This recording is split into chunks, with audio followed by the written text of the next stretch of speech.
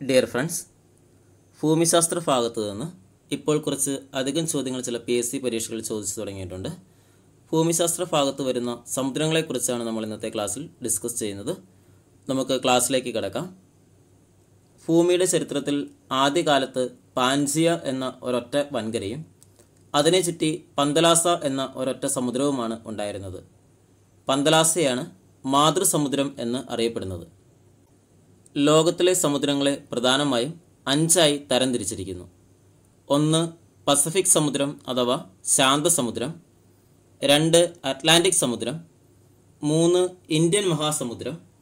നാല് അന്റാർട്ടിക് സമുദ്രം. അഞ്ച് ആർട്ടിക് സമുദ്രം. ലോകത്തിലെ ഏറ്റവും വലിയ സമുദ്രവും ഏറ്റവും ആഴം കൂടിയ സമുദ്രവും പസഫിക് സമുദ്രമാണ്.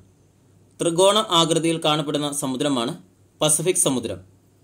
പസഫിക് സമുദ്രത്തിന് ആ പേര് നൽകിയത് ഫെർഡിനൻഡ് മഗല്ലൻ. പസഫിക് മഹാസമുദ്രത്തിലെ ഏറ്റവും ആഴം കൂടിയ ഭാഗമാണ് ചലഞ്ചർ ഗർത്തം.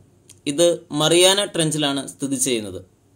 പസഫിക് സമുദ്രത്തിന്റെ ശരാശരി ആഴം അഞ്ച് കിലോമീറ്റർ ആണ് വിസ്തീർണത്തിൽ രണ്ടാമത്തെ വലിയ സമുദ്രമാണ് അറ്റ്ലാന്റിക് സമുദ്രം. ഇംഗ്ലീഷ് അക്ഷരമാലയിലെ എസ് ആകൃതിയിൽ കാണുന്ന സമുദ്രമാണ് അറ്റ്ലാന്റിക് സമുദ്രം. അറ്റ്ലാന്റിക് സമുദ്രത്തിലെ ഏറ്റവും ആഴം കൂടിയ ഭാഗമാണ് പ്യൂർട്ടോറിക്ക ട്രഞ്ച് ലോകത്തിലെ ഏറ്റവും തിരക്കേറിയ സമുദ്രഭാഗമാണ് അറ്റ്ലാന്റിക്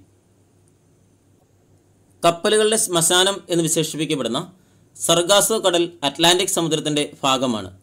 സമുദ്രത്തിൽ വൻതോതിൽ തിങ്ങിക്കിടക്കുന്ന സർഗാസം എന്ന കടൽ സസ്യത്തിൽ നിന്നാണ് ഈ പേര് ഉണ്ടായത്.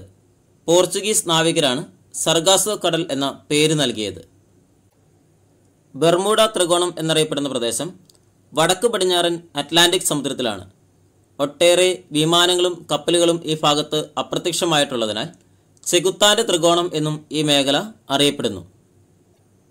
ഒരു രാജ്യത്തിന്റെ പേരിൽ അറിയപ്പെടുന്ന ഏക സമുദ്രമാണ് ഇന്ത്യൻ മഹാസമുദ്രം. വിസ്തൃതിയിൽ മൂന്നാം സ്ഥാനത്തുള്ള സമുദ്രമാണ് ഇന്ത്യൻ മഹാസമുദ്രം.